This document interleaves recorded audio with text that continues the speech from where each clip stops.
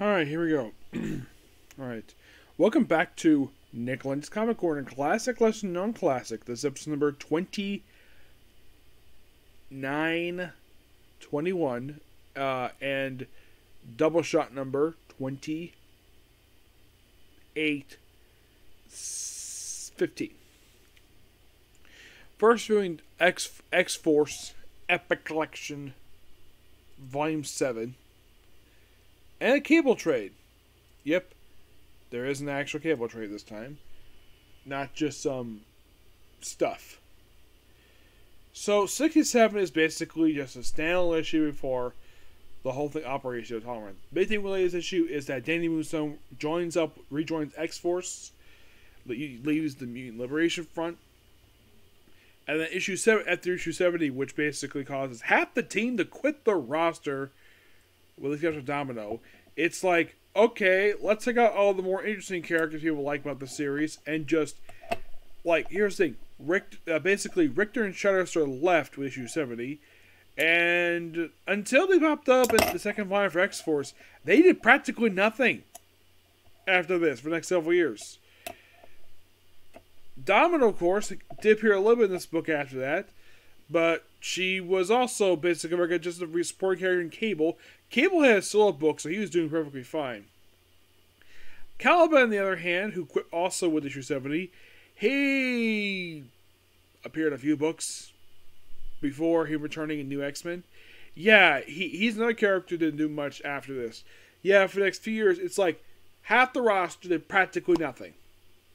Yeah, so it's called Zero Tolerance. Name it. Yeah, that's the name of the trade here. Mm-hmm. Yep. So yeah, and then pretty much after all the right members leave, as you said before, I continue. Uh, let's talk briefly. Now, by the way, we have John Francis Moore on the writing duties to this book.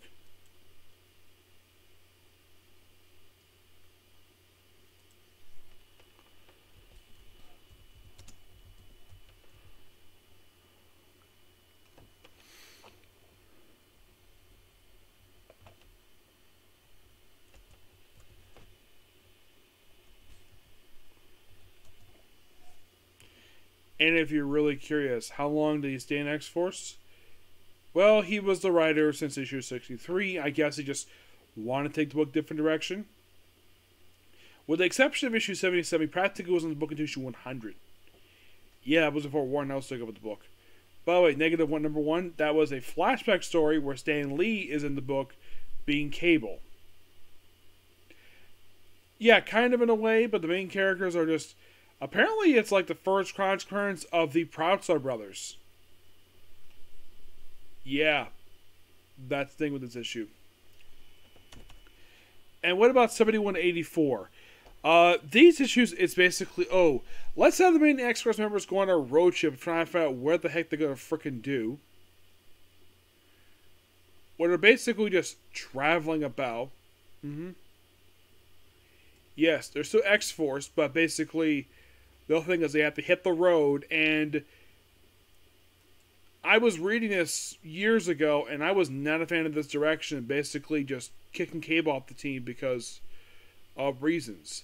They also killed a character in this book who appeared in negative number one in issue 72 called Michael White Cloud.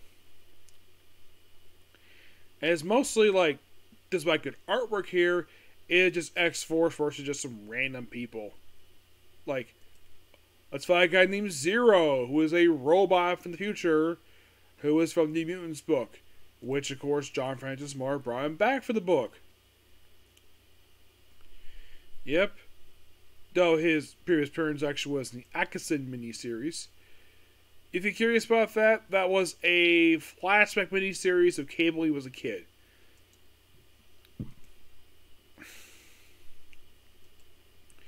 There's also a guy named Martin Edward, just this wolf creature guy, just all debuted negative number one. It's basically dealing with basically the stuff with Warpath, some of these issues. And then we deal with Strife. Okay, that's a familiar character. Valkyrie also is in the book too. And we have Blackheart, Reignfire. You're like, what is this? Is this X Force?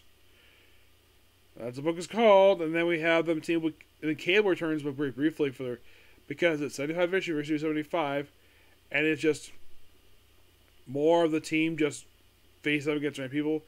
They don't have a headquarters at this point.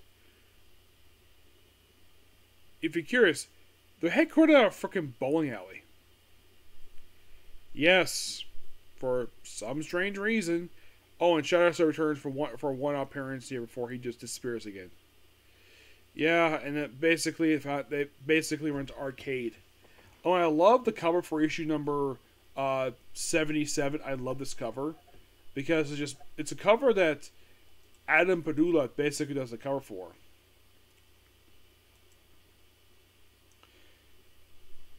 Yeah, it's this very cool cover that basically, well, I think pretty much anything that came out that week basically uh, had this style cover. Some books, anyways, but not all of them.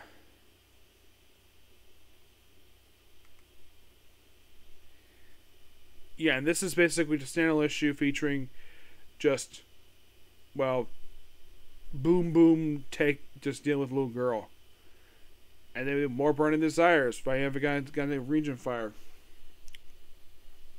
Who is a Fabian Nicieza character who didn't really do very much. I barely remember this character. Yeah, when he, he returned to 72, this first appeared in the book issue 43 and that was Fabian Nicieza wrote the book. I guess John Francis Moore probably felt, hey, let's bring him back as a recurring villain for X Force. About somebody that choose before basically disappearing. I'll stay with someone called Locus,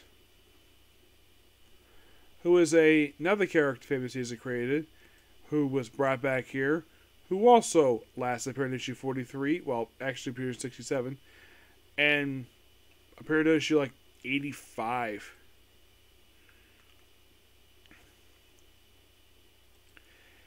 These are just very strange issues per se. It just doesn't feel like X Force to me. That's just the problem with it. I mean, it's not bad. They have an issue here, issue 80, a team with Heroes for Hire and Dar the Dragon. And deal with the first beginning of the Pendema. Okay a character debuted in this book here.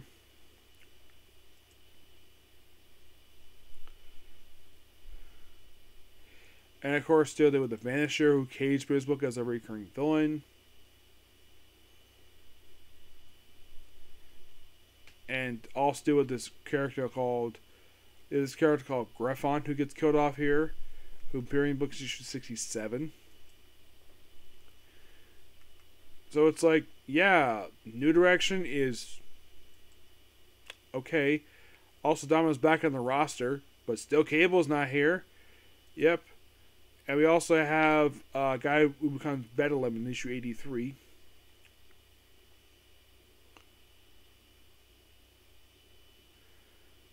It's like, oh, let's make the group a traveling group.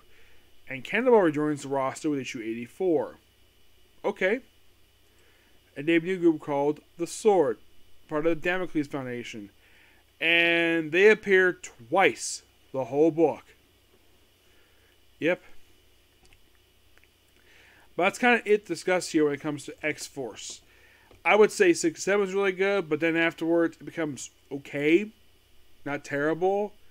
It is surprising this book managed to last 120 issues. Yeah, it was shocking. Uh, my guess is probably the reason why John Francis Moore left the book with issue 100 because my guess the book wasn't selling too well. Yeah, that is just my honest opinion. But who knows? It was late 90s. I guess they want to get rid of the Rob Liefeld stuff so badly.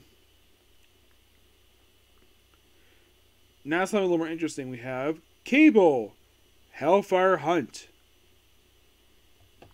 Here's the cover for it. Yep, now, this book, written by uh, written by James Robinson, Joe Casey, Michael Higgins, and Karl Bollers, artwork by Steve Platt, Laron, German Garcia, Rick Leonardi, Michael Evelyn, Ryan Benjamin, and I guess. Oh, by the way, I give the X Wizard collection a eight out of ten.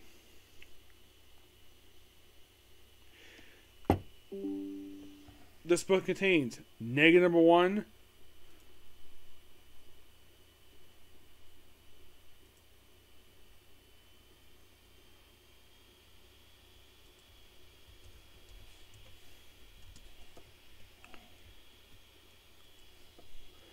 I think it's like 48. Uh, see if I can find it here. Okay, here we go. It's negative number one, issues 4858, uh, the Machine Man and Cable Annual, and the Machine Man Bastion Annual, along with the one to Wolverine Cable. Negative number one is basically. Now, this is probably the start of the time period where, for the most part, from what I could tell, I think this is when uh, Cable decided to be drawn like it's like what what if basically he was drawn by Stan Lee, not necessarily uh, Jack Kirby. Yep, and the whole thing of this issue is basically deal with Cable's backstory. More of a tag appearance issue two as well.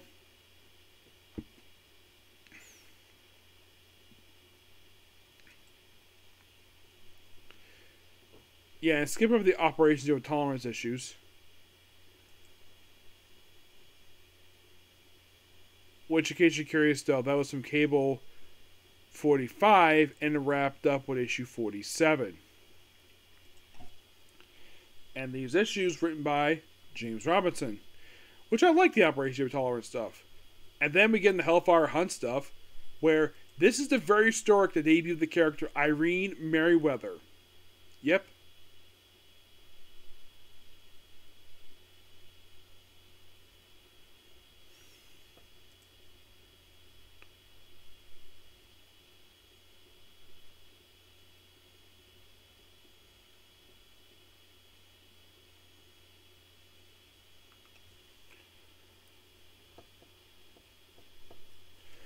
yeah, Irene Merriweather is this female porter who basically starts traveling with Cable, and basically Cable in these issues deal with the Hellfire Club. Yep. And the storyline lasts from 48 to 53. That is how long the story lasts for. Mm-hmm. And it's a quite interesting story. Deals to Apocalypse 2. Really good story arc. I love this story arc. It was amazing. And by the end of it, you have the apparent death of Donald Pierce, aka the White Bishop.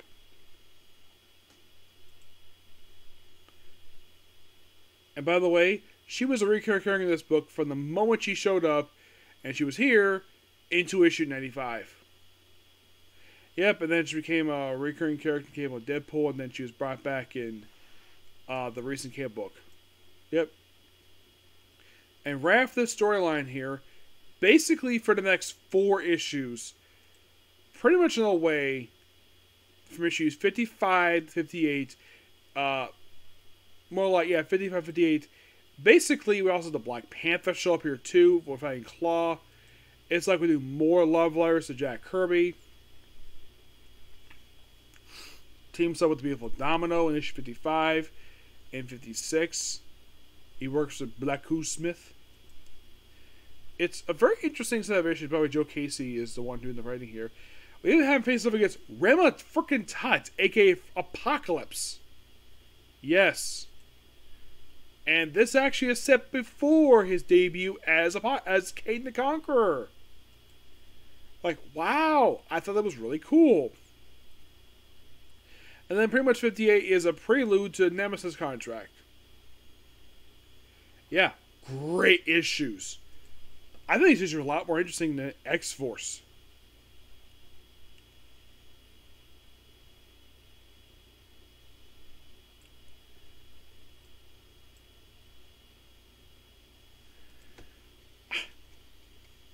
That's better.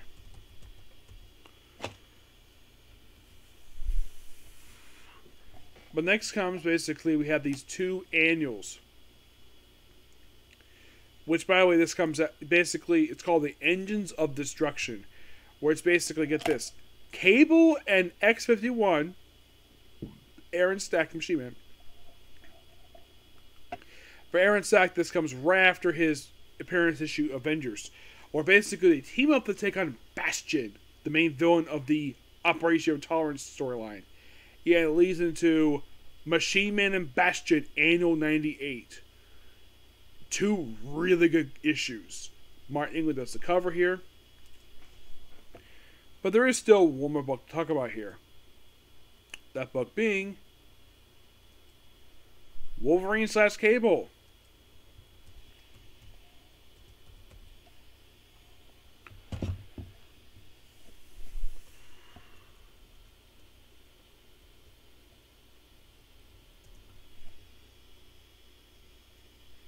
Ah, that's better. Or it's basically them teaming up to. yeah. It's them teaming up. Now, is this the only one show they have?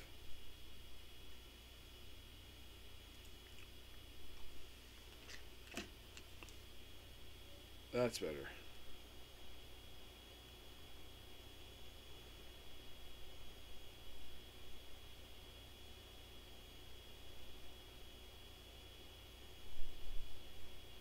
Yeah, this is the only one. Where it's basically them working with the Department H to take on the Vulture. You're thinking, wow, that sounds really cool. Yep, and it is. But great set of issues. We also get first appearance of a guy named Frank Rhodes. You're thinking, oh, he's related to James Rhodes? No, not really. He's just a quick standalone character and it's just a fun issue. Mm-hmm. Because Wolverine, did they go to Madripoor? Nope, they go to freaking Canada for the whole whole book. Which, yeah, book is a lot of fun. I'm kind of surprised they collect this one. Yes, but great issues. I'm gonna give this book a 10 out of 10 because it's that damn good. Yep, so yeah, that's particularly a particular view. Please be sure to like, comment, subscribe, turn notifications, do another like button. Um, I'm gonna go ahead. I got stream to do right now, so I'll see you all later. Okay.